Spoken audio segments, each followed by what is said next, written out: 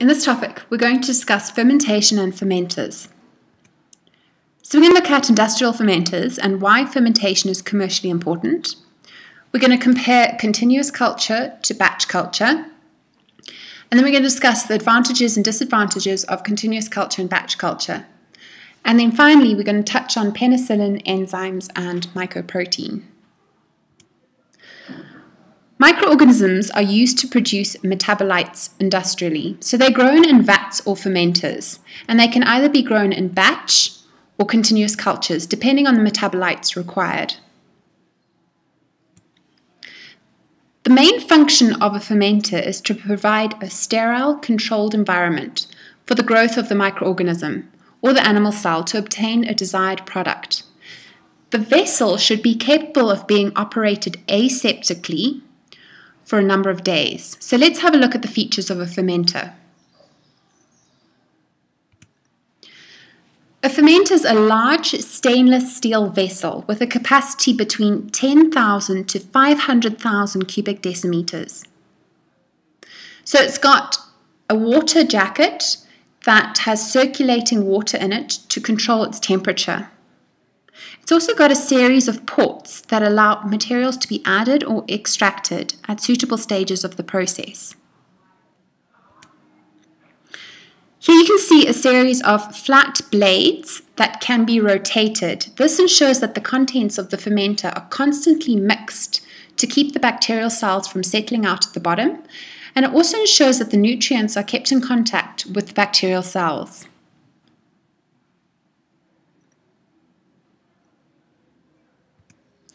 If oxygen is needed, it can be forced through tiny holes in a plate at the bottom of the tank.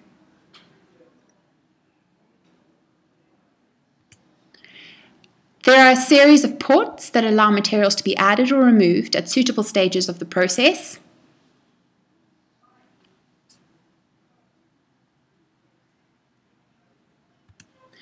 Probes are used to monitor the, um, the conditions, such as temperature and pH, which can be adjusted to bring them back to the optimum if necessary.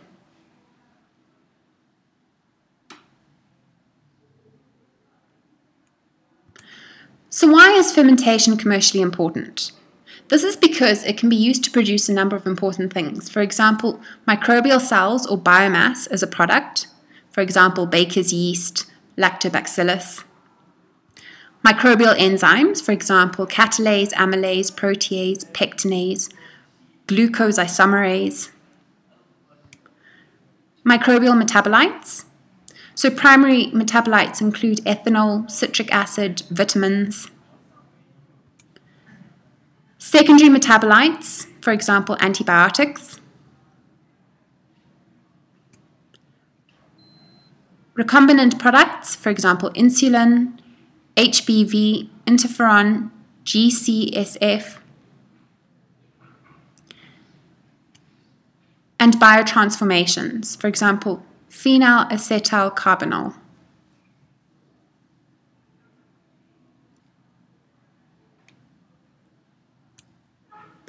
So the two main methods of cultivation using a fermenter, you've got batch culture and continuous culture. Batch culture involves loading the fermenter with all the necessary materials, allowing the bacteria to grow and produce their products. So nutrients are not added, nor are the products removed during this process. Air is allowed in and waste gases are removed. The process is then stopped at a specific stage and the product is removed. The ferment is then cleaned and sterilized so that it's ready for the next batch. Continuous cultivation involves a constant stream of nutrients being added and the products being continuously removed over a period of many weeks. This process is quicker than batch cultivation because there's no downtime between each batch. Continuous cultivation is, however, only suited to the production of biomass or metabolites that are associated with growth. Right, let's compare them. So continuous culture, it's an open system. Batch culture, it's a closed system. Continuous culture is used for making metabolites in the log phase, and batch culture is used for making secondary metabolites in the stationary phase.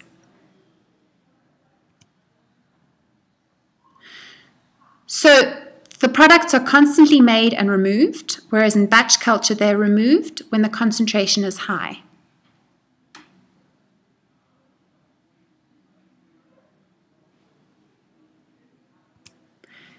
In continuous culture, the material is constantly added. Everything is in excess except for one limiting factor. In the batch culture, no new material is added. Continuous culture, the nutrient levels um, are the same throughout the procedure. In the batch culture, the nutrients are depleted.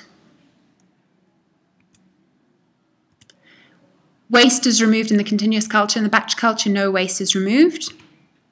Continuous culture, waste products are constant. Batch culture, the waste products do accumulate.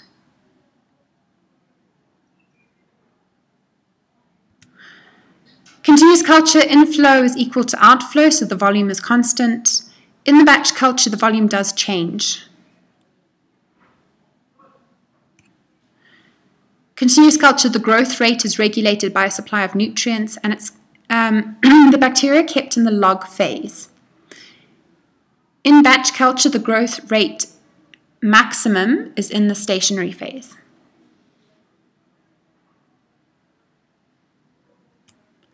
Continuous culture, the product is constantly made and can be removed. In batch culture, the product is removed at the end of a certain time period and then a new batch is produced.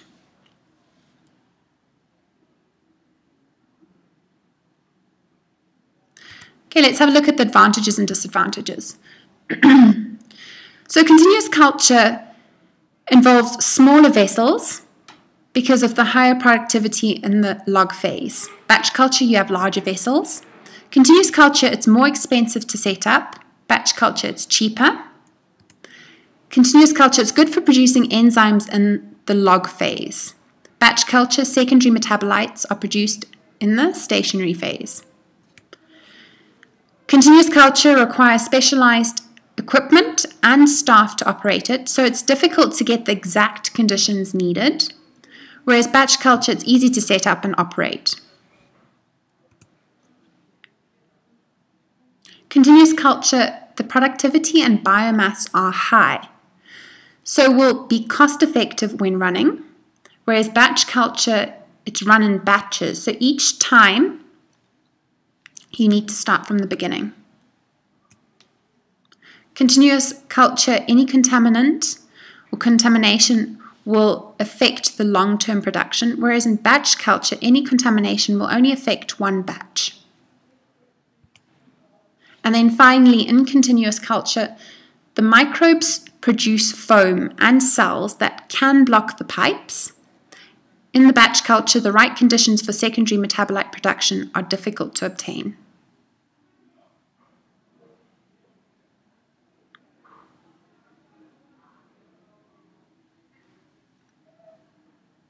Okay, some examples of fermentation. If you have a look at this graph here, where there's stationary phase is where antibiotics are made. Antibiotics are made when the nutrients are running out and the growth of the producer organism is slowing down rather than at its maximum. They are therefore secondary metabolites and their production takes longer than primary metabolites. So it also means continuous fermentation techniques are unsuitable to make antibiotics because nutrients are constantly added and so growth never slows or becomes stationary. Therefore, antibiotics are produced in batch culture. Enzymes, on the other hand, are secreted when the bacteria are in the log phase. They are thus produced in continuous culture. If the enzymes are made in batch culture, the microorganisms are removed by filtration and the enzyme is purified and concentrated.